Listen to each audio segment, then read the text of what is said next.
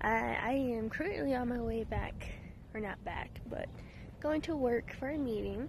But I really wanted to do a quick video talking to you guys about my spiritual attunement that I had done um, for Reiki. So I got my certificate in Reiki. I am super happy and excited about it. It was such a good experience. Um, I plan on learning some more about it and looking up some books to study it more. There we go. um, so yeah, I'll probably do some more book reviews soon. But so about my experience with it, it was amazing. Let me tell you. uh, I was actually able to meet more of my own spirit guides and a few of my own ancestors when I was having it. It lasted roughly for about 30 minutes. Um, throughout the whole time, I'm getting uh, my breath. Um, but I lasted for roughly 30 minutes. It was really nice. Um, and throughout the whole time, I ended up meditating, trying to do the light. But yeah, I ended up doing meditating um, throughout the whole experience.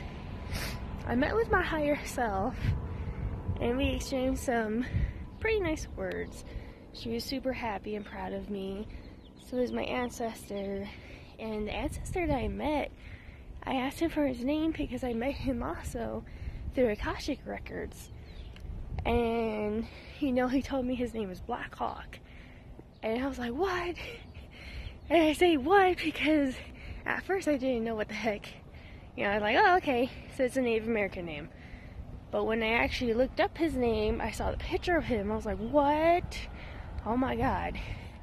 Okay, I am really getting out of breath. uh, but yeah, it was really amazing.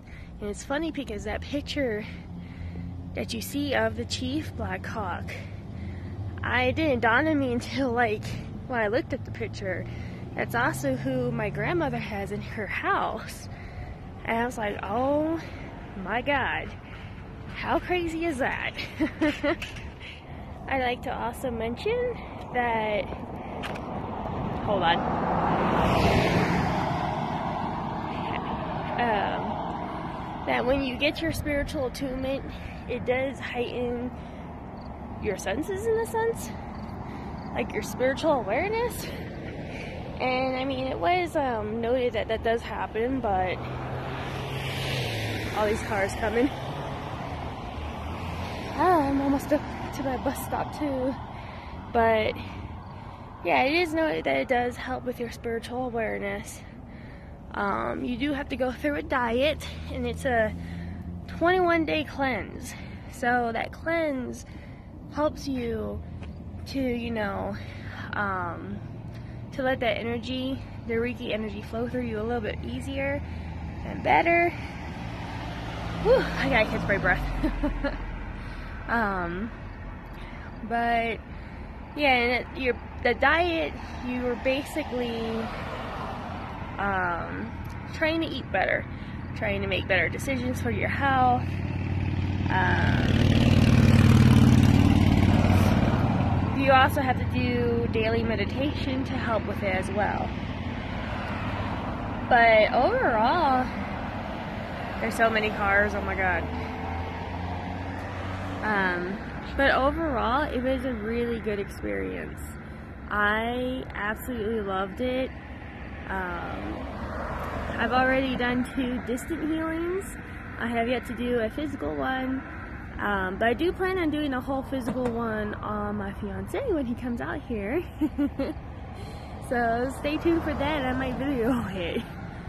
Um, but yeah, I thought to do a quick little video, uh, tell you guys how it was, and yeah, I will see y'all later. Bye. Okay, real quick. So I forgot to mention also that um, my higher self showed me how my soul looks. And by that I mean that, you know, she just showed me how much, like how much I, I am in a sense, I don't know. But you know, we we first appeared in the forest, and this forest was so lush and green, kind of like.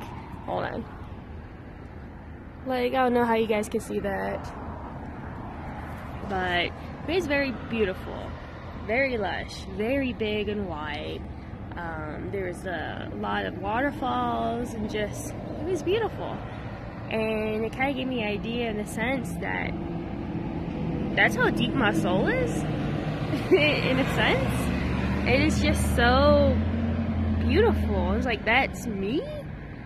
Um, it was really beautiful. But, yeah, that's all I had to add it. Also, a quick view of our beautiful mountain today. It is currently 6.30 in the morning.